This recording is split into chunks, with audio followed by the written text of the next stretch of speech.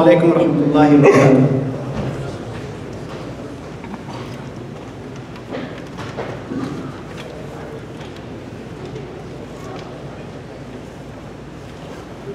الله أكبر الله أكبر. الله أكبر الله أكبر أشهد أن لا إله إلا الله. أشهد أن لا إله إلا الله.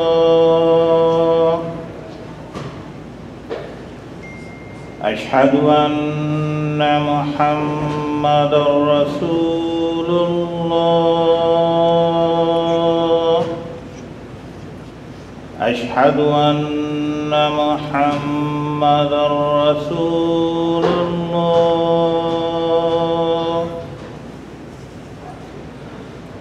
حي على الصلاه حي على الصلاه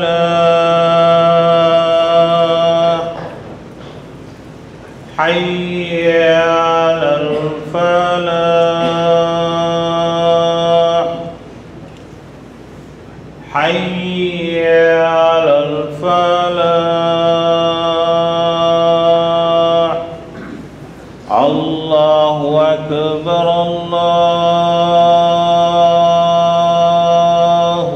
أكبر.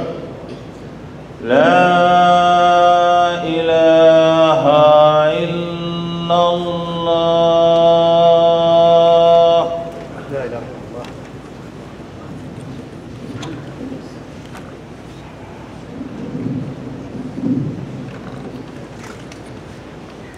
إن الحمد لله نحمده ونستعينه ونستغفره ونعوذ بالله من شرور أنفسنا ومن سيئات أعمالنا من يهده الله فلا مضل له ومن يضلله فلا هادي له وأشهد أن لا إله إلا الله وحده لا شريك له وأشهد أن محمدا عبده ورسوله.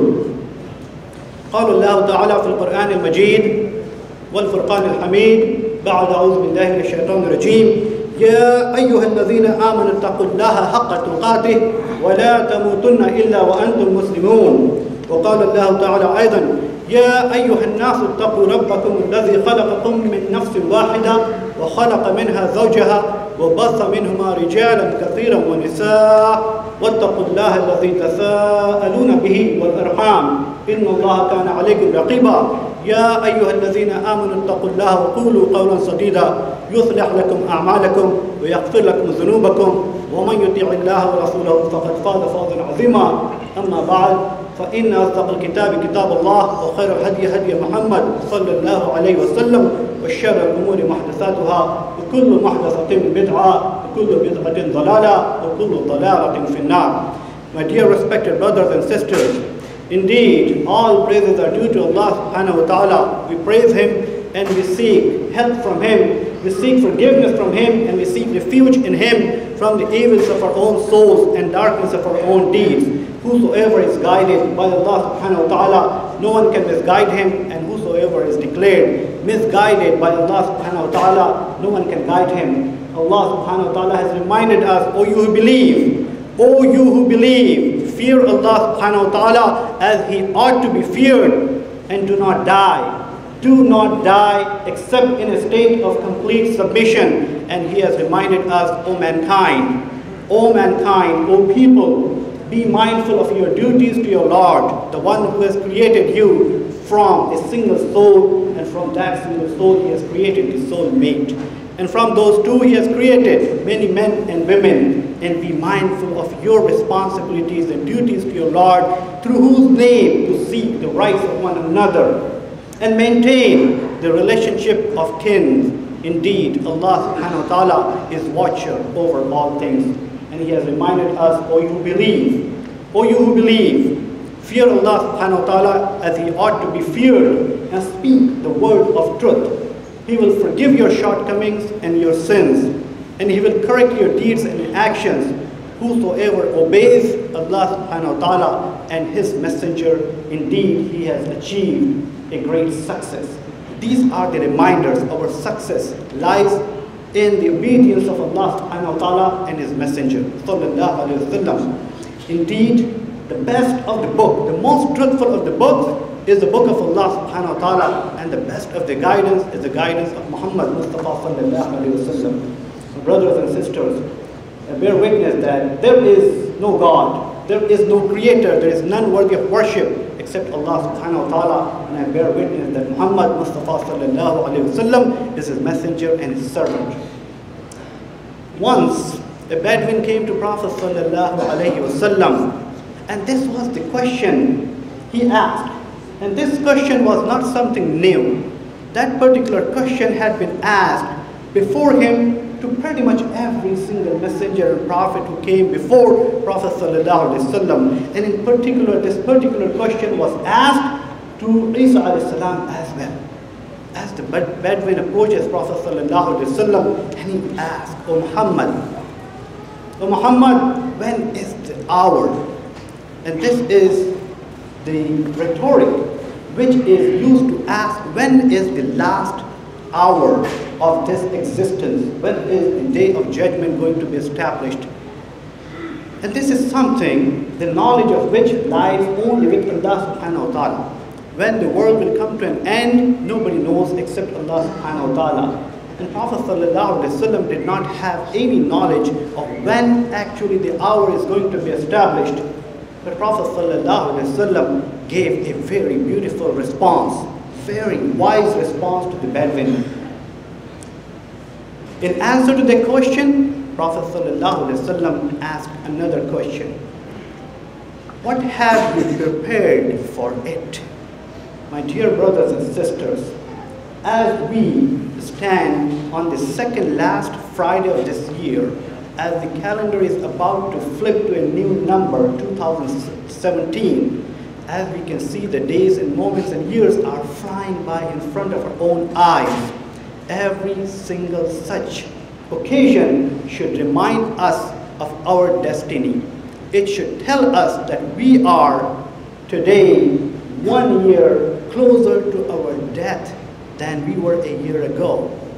As the calendar is flipping, even though it has no religious significance in our deen, but it should serve us as a reminder that we are getting closer to Allah subhanahu wa ta'ala, getting closer to the hour on which we will be questioned how we spent our life. Did we pay attention to our salah? Did we pay attention to our ibadah? Did we pay attention to our responsibilities of conveying the message of Allah subhanahu wa ta'ala to the others? Did we do the right things in our life? My brothers and sisters, this is the reminder to myself and all the brothers and sisters over here that these days, let these days not be the days of celebration. Let these days not be the days of extravagant spending. that these days be the days of reflection that we are closer to our graves and our death and our destiny and the moment on which we will be held accountable and responsible and questioned for our actions and deeds. My brothers and sisters, what is so important in our life is the condition of our heart.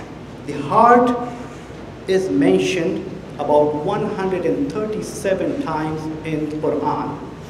And these days, I would like to encourage everybody to just reflect upon what is in our heart, what is the condition of our heart. And if there are any dark spots, if there are any weaknesses, if there is any greed, if there is any jealousy, if there is any grudge, this is the time to address those issues. Let's reflect upon that and let's see how we can purify our hearts so that when we stand in front of our heart, our heart will be labeled as Al-Qalbul Salim, the sound and submissive heart to the Lord. So what changes the condition of heart? What makes it unsound? What makes it, what makes it sick and dirty. Primarily, the human desires, the sins, the transgressions against Allah subhanahu wa ta'ala will make a heart unsound. It will make it hardened. There is no softness or humanity will be left if we continue to be jealous, if we continue to be greedy, if we continue to be selfish, if we continue to be self-centered, that will make our heart hardened and unsound, unfit to be presented in front of our Lord, in front of Allah subhanahu wa ta'ala. My brothers and sisters, as Allah subhanahu wa ta'ala has mentioned on that day, يوم لا ينفع مال ولا بنون إلا من أتى الله بقلب سليم and the day on which property will not avail our wealth our cars our mansions our houses our sons our relatives none will avail on that day and there is an exception إلا من أتى الله بقلب سليم except him who comes to Allah with a sound heart and I make dua on these blessed moments of the blessed day of Yom al-Jum'ah that may Allah subhanahu wa ta'ala purify our heart and soul. May Allah subhanahu wa ta'ala clear our hearts from any kind of dirt of greed, any kind of dirt of grudges, any kind of anger which is unsound. And may Allah subhanahu wa ta'ala fill our hearts with the love of Allah subhanahu wa ta'ala, with the love of Prophet sallallahu alaihi wasallam, with the love of his creation, the humanity. My brothers and sisters, Prophet sallallahu alaihi wasallam pointed to his heart and he kept mentioning as he was describing the taqwa, the fear of Allah subhanahu wa ta'ala. And this fear is not the fear of destruction. This is the fear of love that my Lord may get upset with me. I will not be able to get the attention from somebody who is so loving and so compassionate. And that is the kind of love, that is the taqwa in the heart of a believer, which is so important. And Prophet ﷺ kept pointing to his heart and he kept saying, At-taqwa hahuna, at-taqwa hahuna. So taqwa belongs to the heart. My brothers and sisters, when we disperse from this gathering, I would like to encourage everybody to reflect upon what is there in my heart. Is my heart softened towards the humanity? Do I have enough compassion towards those who are not so fortunate? There is a lot of misery we see around us. There are a lot of people who are not so fortunate. I would like all of you to reflect upon what are we today. And the second point is, will I have the same opportunity a year from now? Do I have a guarantee that I would live a day, a month, a week, or a year from today? If that is not the case, if there is no guarantee, then this is the time to return to Allah subhanahu wa ta'ala. This is the time for rujur ila Allah, to return to Allah subhanahu wa ta'ala. أقول قولي هذا واستغفر الله لي ولكم ولسائر المسلمين والمسلمات فاستغفروه إنه هو الغفور الرحيم.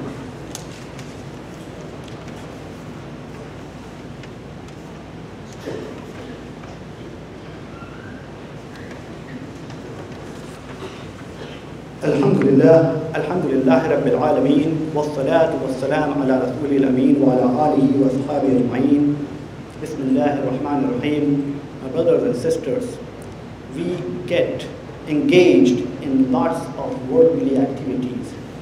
Let's do the self-evaluation. Let's do the ihtisab. Let's take account of ourselves before we are accounted for before we are held accountable for our own actions because that is something the best we can do to ourselves.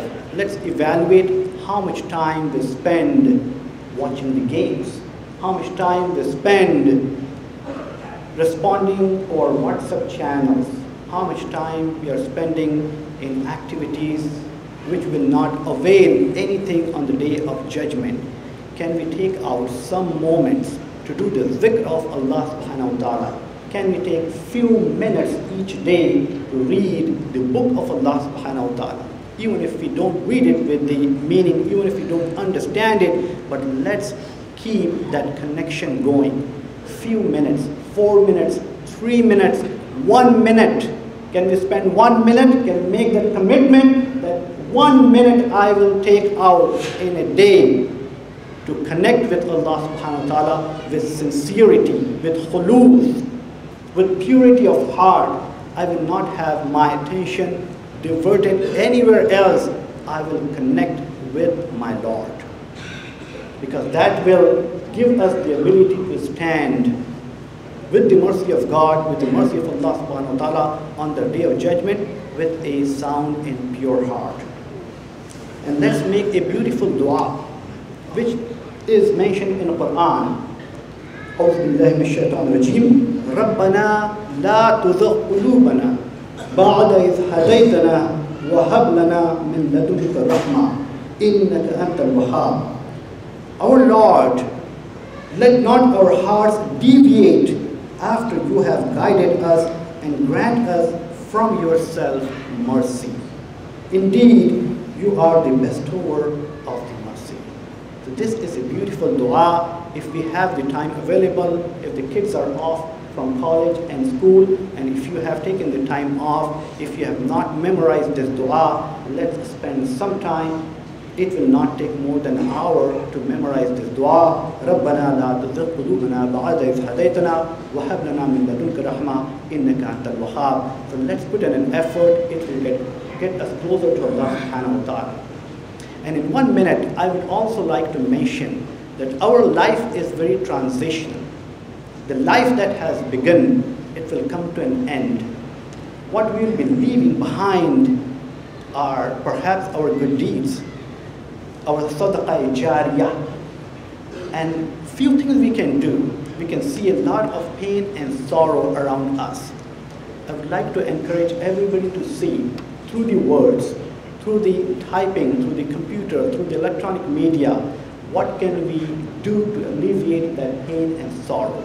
The other thing we can do is to invest in our institutions, in our masajid, because all of these walls you see, they are likely to last beyond our lifespan. Any investment we made in these walls, in future, 20 years, 30 years from today, somebody would, would be walking in, perhaps from other faith, and we have seen that many Christian brothers and sisters, Jewish brothers and sisters, they came to this place and they took the shahada and they mentioned ashhadu an la ilaha illallah wa ashhadu anna muhammadan abduhu and that reward will be distributed over all those who have invested in these walls.